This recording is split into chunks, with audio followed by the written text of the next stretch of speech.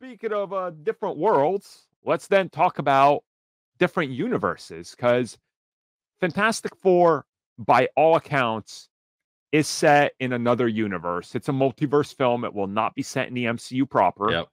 Yeah. Um. So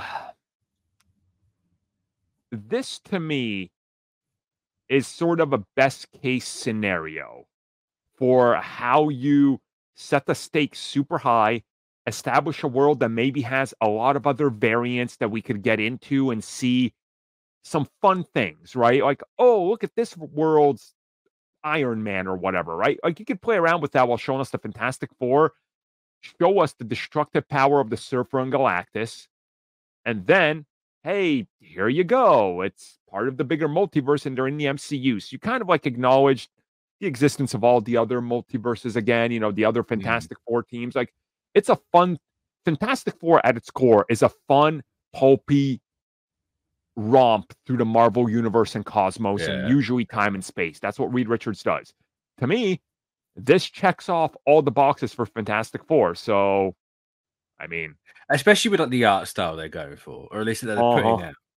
It's that like retro futuristic '60s yeah, yeah, sort of look, and it's you know what I'm I'm here for it. yeah. It's My, my thing is, it, it just makes so much sense. You, you look at the whole Silver Surfer casting thing. You, you look at Galactus. You know, Galactus' whole origin is he comes from a different iteration of the six one six, right? So mm-hmm. hey, we just slightly tweak that to be from a multiverse, and apply that to everyone, and hey, there you go, you got your movie. I'm just wondering if he's like gonna be like I want to know is it like he's is he gonna still be the guy in the purple suit? If he's not got the big pointy hat, go Hmm. um just for the big lols, go for the ultimate version and have him be a Because- swarm.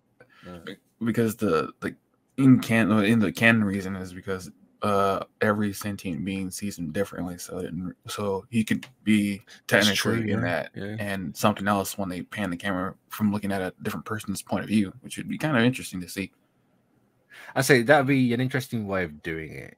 Like, how do you pull that off without confusing everyone to think it's different people? But I suppose you just having him being the camera and be like, "I'm the same one. yeah I appear differently, do everything." hmm Yeah, I mean, they got So so I think much. you do stuff slightly different in this movie. yeah, before Secret Wars, and then once Secret Wars happens, it's like, hey, here's we get to repeat the same shtick again with Galactus and Surfer, but they're slightly different now. Hmm They're more like you want to see them. yeah, exactly. It's they have a chance here to subvert some expectations, but do things differently. Focus on this whole multiverse thing again. By the end of this, their universe 100% is getting destroyed. Show us the destructive power of what will happen to the MCU universe if they don't stop an incursion. Like this film has that ability, along with Deadpool and a couple others, to show us like how horrific it is when you're alive in the middle of a universe collapse. you want to see people die of an explosion of that huge of a Yes, magnitude yes, yes. Because we we need to see at least one, right? Because they've only ever Yeah. just said, "Oh, there's an incursion. You caused an incursion? Strange." Well, we never saw anything. right. And it's like the Marvels, like, hey, there's a different planet over there. It's an incursion. Nothing really ever happens.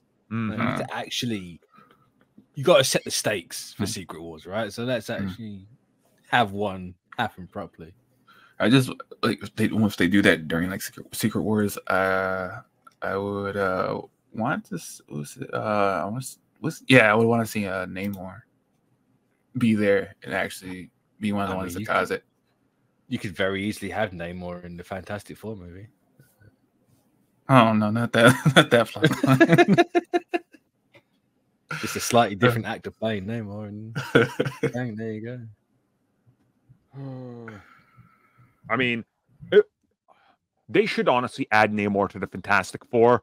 Same actor, just have him actually like in there, kind of tease a Sue Storm thing. uh, Yes, hundred percent. They should just have everyone in there. Have like just show. You should if it is a eh, well, I say if it is, it's, it's clearly a different reality. Like have have their Doom, Ha- have their mole man. Have literally every Fantastic villain that you're either not going to use going forward or you want to set up, and then just go forward with that. Yeah. and have I their mean- movie just be this crazy all out brawl with everyone. Give me Annihilus, damn it. Yeah. Yeah. It's it man. Do you save Annihilus? It, honestly, I don't care. You could do them. Uh, don't give us a female Annihilus and give us a male one in the MCU. There you go. Make this the split the difference. Give us, give us I say, they're, they're never going to do Annihilation Conquest as much as it hurts me to say that Yeah. out loud. So just just doing, just at least doing Annihilus. Big- Give me the, yeah. the cosmic the cosmic rod, whatever the hell he has on his on his neck. yeah. Do you think that they split the difference again? Save Robot Galactus for MCU and do Swarm Galactus for Fantastic Four? Yeah, hundred percent. I, I think you kind of got it because Yeah. if you show us Galactus that way in his first time, you take away a lot of hey, he's Yeah. coming in the MCU. Like you can't do the same exact one. So Unless it's back to front, we have the the the cheesy, the typical Galactus everyone wants in the '60s futuristic Fantastic Uh-huh. Four first movie, and then when he's in the MCU, they they do the we, we, we can't be accurate anymore for some Right. whatever reason, so let's just make it a swarm of bugs. they do the bug swarm Borg type Star Trek, and then you could have him form a giant Galactus robot that looks just different enough. 'Cause- Yeah, We've seen with Celestials, we can do giant floating robots in space now. So like, Yep. you know, it's not that they're ever going to acknowledge that again. don't worry. The next Thor film, they'll fly by them again. They'll just look at the camera, and go, "Oh!" Again. That wasn't That's even it. like the actual. That, oh, I know. No. Uh, that was sad. Uh, Oh, we're going full Jack Kirby. My ass, you are. yeah, you are. Oh, there it is. That's that was something. That was something. Can't even well, get the Kirby crackling one damn thing. Yeah. We'll see what they do with the Fantastic Four when the time comes, I guess. So, um, I'm excited for it. It makes a lot of sense with all the stuff they put out there. Why it's like a different reality. I- exactly. I assume the next one they blatantly going to call it Future Foundation because we can't be the Fantastic Four in this universe anymore. I could see that. Yeah, I could see that.